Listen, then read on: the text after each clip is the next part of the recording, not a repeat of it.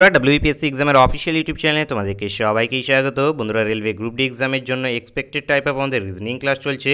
আজকের ক্লাসেও কিছু গুরুত্বপূর্ণ এবং ইম্পর্টেন্ট কোশ্চিন করব। যেই টাইপ অফ কোশ্চিন তোমাদের এক্সামের জন্য ভেরি ভেরি ভেরি ইম্পর্টেন্ট সেশনটা মধ্যে শেষ পর্যন্ত দেখতে থাকবেন অবভিয়াসলি চ্যানেলে যারা প্রথমবার ভিজিট করছ, অবশ্যই ভিডিওকে একটি লাইক করে দেবে। চ্যানেলকে যারা সাবস্ক্রাইব করে রাখুন, অবশ্যই সাবস্ক্রাইব করে নেবে।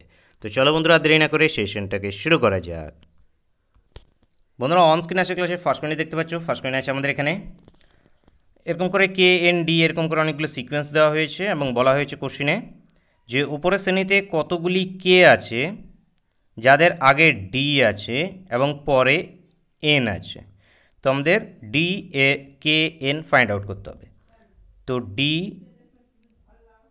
কে এন এ পর্যন্ত।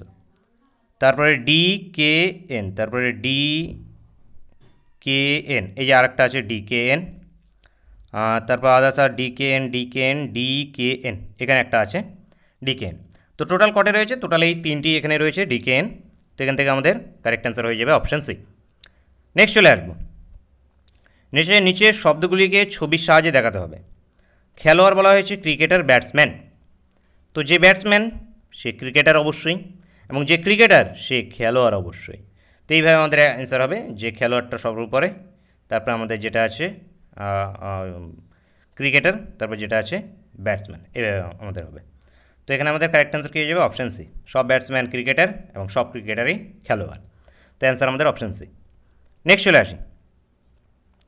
নেক্সট হচ্ছে আমাদের এখানে কোশ্চিন মার্ক রয়েছে সিকোয়েন্সের এই লাস্টের কোশ্চিন মার্কে কী হবে সেটা আমাদের ফাইন্ড আউট করতে হবে। ইজি কোশ্চিন আছে নিজের থেকে ট্রাই করো কোশ্চিনগুলোকে একদম ইজি ইজি কোশ্চিন নেওয়া আছে আজকে। তো এখানে কি ই ই থেকে গিয়েছে এফ এক ঘর প্লাস হয়েছে। জি এইচ আই দুই ঘর প্লাস হয়েছে। আই জে কে এল তিন ঘর প্লাস হয়েছে। কে এল এম এন ও চার ঘর প্লাস হয়েছে।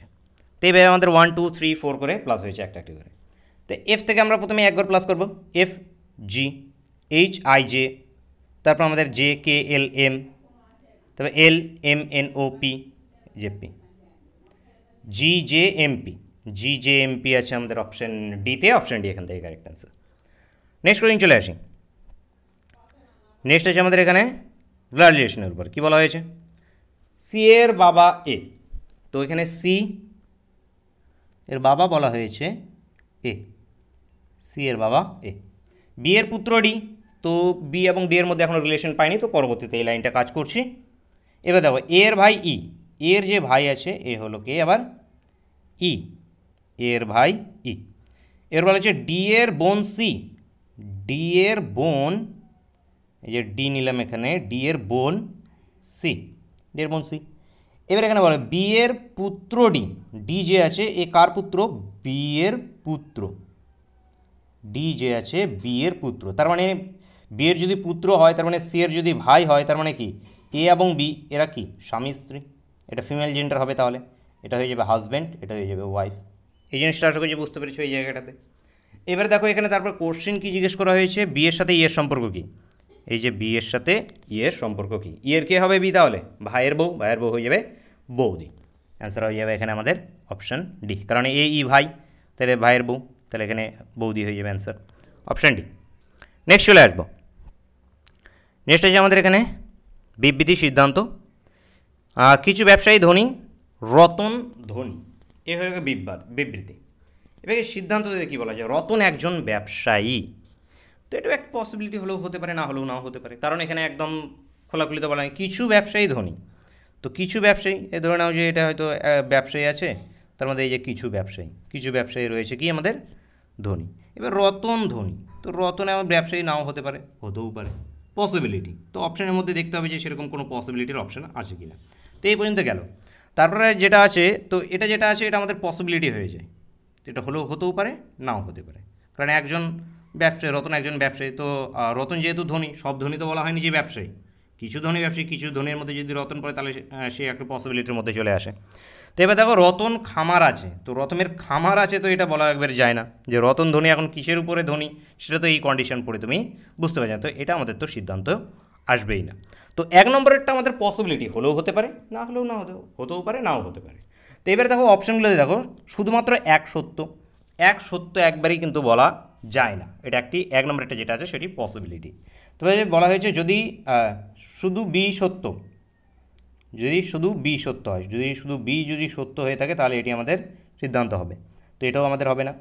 যদি উভয়ই সিদ্ধান্তই সত্য, যদি উভয় সিদ্ধান্তই যদি সত্য হয়ে থাকে তাহলে বিবৃতিটা আমাদের স্যাটিসফাই হবে, সেটাও আমাদের না।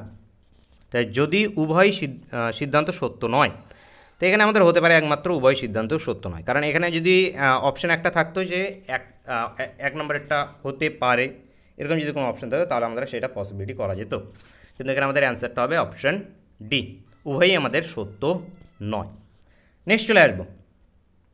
নেক্সটে যে ভুল নির্ণয় করতে হবে। তিন, দশ, উনিশ, তিরিশ, বিয়াল্লিশ, আটান্ন, পঁচাত্তর। দেখো তিন থেকে প্রথমে দশ গিয়েছে, কত প্লাস হয়েছে? ধীরে ধীরে বেড়েছে মানে কি? অ্যাডিশন হয়েছে। সাত। তারপরটাতে কত? নয়। তারপরটাতে কত? এগারো। সরি এগারো। তারপরটাতে কত? বারো। এই যে জায়গায় গিয়ে গণ্ডগোল সাতের থেকে নয়, এগারো, হিসাব অনুযায়ী হওয়া উচিত এখানে আমাদের তেরো। তো এখানে ভুলটা রয়েছে আমাদের কোথায়? এই তেরো, এই চোদ্দোতে। চোদ্দ বলছি এখানে বিয়াল্লিশে। বিয়াল্লিশের এখানে ভুল রয়েছে, এই জায়গাটা আমাদের হওয়া উচিত ছিল কত? তেরো। তেরো হলে কত হতো এখানে? তেতাল্লিশ। দেখো এখানে তেতাল্লিশ হলে তারপরেরটাতে এখানে কি পনেরো যোগ করতাম। পনেরো যোগ করলে আমাদের কত আসতো? আটান্ন। তারপর তারপরেরটাতে আমরা কত যোগ করব? সতেরো যোগ করব, তাহলে আসবে আবার পঁচাত্তর। তো এখানে ভুল আছে কোথায়? আমাদের বিয়াল্লিশে। অপশান সি এখানে কারেক্ট অ্যান্সার নেক্সট চলে আসি। নেক্সট আছে যদি প্যারোট এটা যদি হয় সোট যদি এটা হয়ে থাকে, তাহলে পাটাটো এটা কি হয়ে যাবে? আমাদের সেটি ফাইন্ড আউট করতে হবে। তো এখানে কী কারেক্ট অ্যান্সার হবে দেখা যাক। আগে দেখি আমরা কোডগুলোকে খুঁজে বের করি। এখানে দেখো এখানে যে অ্যালফাবেটগুলো আছে, তার মধ্যে কিছু কমন অ্যালফাবেট এখানেও আছে। এখানে পি দেখো আর আর আছে, এখানে আর আর দেখো দুটোতেই তিন দেওয়া হয়েছে। দুটোতেই তিন দেওয়া হয়েছে, তার মানে কি আর ডিনোট করছে আমাদের তিনকে। পি এই যে এককে ডিনোট করছে পি ডিনোট করছে এককে। তবে এ এ ডিনোট করছে আমাদের, এই যে দেখো দুটোতেই এ আছে দুই। এ ডিনোট করছে দুইকে। তারপর টি ডিনোট করছে আমাদের পাঁচকে। ও ডিনোট করছে আমাদের চারকে। এ হয়ে গেল। এখান থেকে এস এস ডিনোট করছে আমাদের আবার কাকে? ছয়কে। এবার যেটা আমরা অ্যান্সার বের করব P A T A T O P denote করছে কাকে? এক। এ ডিনোট করছে কত? দুই। টি ডিনোট করছে পাঁচ। এ ডিনোট করছে দুই। টি ডিনোট করছে পাঁচ এবং ও ডিনোট করছে চার। বারো, বাহান্ন, চুয়ান্ন। বারো, বাহান্ন, চুয়ান্ন অপশান ইয়েতে আছে। বারো, বাহান্ন, চুয়ান্ন অপশান এখান থেকে কারেক্ট আনসার বা এখান থেকে পি এর ভ্যালুটা বের করে নিলে একবারই হয়ে যায়। দেখো এই যে পি ডিনোট করছে আমাদের এককে এই যে পি ডিনোট করছে এককে এখানে একমাত্র পি এক আছে। তো এক দিয়ে শুধু এই অপশান এটাই শুরু হচ্ছে, তো এই অপশান এই এখানে কারেক্ট আনসার নেক্সট চলে আসি। নেক্সট যে একটি ছক্কার দুটি অবস্থান দেখানো হয়েছে। যদি নিচের তলে ছটি ডট থাকে, তাহলে উপরের তলে কটি ডট থাকবে? মানে ছয়ের বিপরীতে কীভাবে ফাইন্ড আউট করতে হবে? তো দেখো এখানে চার, ছ, চার এবং দুই, এই যে চার এবং দুই এই দুটো ফেস দুটো লুটির ছক্কার মধ্যে কমন তো দুটো ফেস যখন কমন হয়ে থাকে আনকমন ফেসগুলো একে অপরের বিপরীত হয়ে থাকে, তার মানে একের বিপরীতে হয়ে যাবে আমাদের কত? ছয়। তাহলে এখানে ছয়ের বিপরীত আমাদের দরকার, তাহলে হয়ে যাবে একটি ডট অপশান এ এখানে correct answer next question next যে একটি সারিতে রথির স্থান বাঁ দিক থেকে পনেরোতম এবং সুমিতের স্থান ডান দিক থেকে সতেরোতম। রথি এবং সুমিতের মাঝখানে রয়েছে সাতজন বালক, ওই সারিতে কতজন রয়েছে? তো এটা আমাদের বাঁ দিক, এটা আমাদের ডান দিক। বাঁ দিক থেকে রুটির স্থান এখানে রয়েছে পনেরো নম্বরে। ডান দিক থেকে এখানে বলা হয়েছে সুমিত স্থান রয়েছে সাত নম্বরে। এদের মাঝখানে রয়েছে পাঁচজন বালক। এদের মাঝখানে রয়েছে পাঁচজন তাহলে সারিতে মোট কতজন রয়েছে? তার মানে এদিকে রয়েছে পনেরো, এদিকে রয়েছে পাঁচ, এদিকে আছে সাত। সবগুলোকে যোগ করে দাও, তাহলে আমরা সারিতে কতজন আছে পেয়ে যাব? কুড়ি, সাথে সাতাশ। সাতাশ জন রয়েছে টোটাল সারিতে। Option A, option B correct answer next চলে আসি।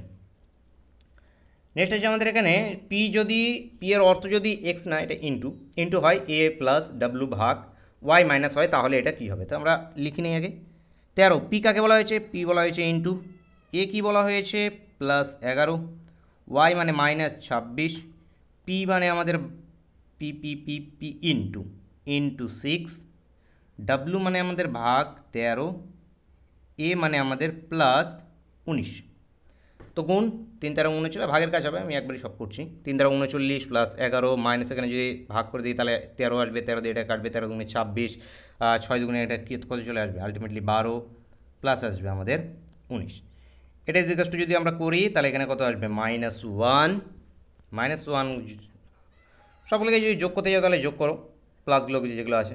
তাহলে এটা কত আসবে? কুড়ি তিরিশ, তার মানে কি? সিক্সটি নাইন সিক্সটি নাইন থেকে বারোকে বাদ দাও seven five fifty seven fifty seven আসবে অ্যান্সার অপশান সিতে আছে অপশান সি এখান থেকে কারেক্ট অ্যান্সার আজকে যে বুঝতে পেরেছ, কোনো ডাউট থাকলে অবশ্যই কমেন্ট করে জানাবে।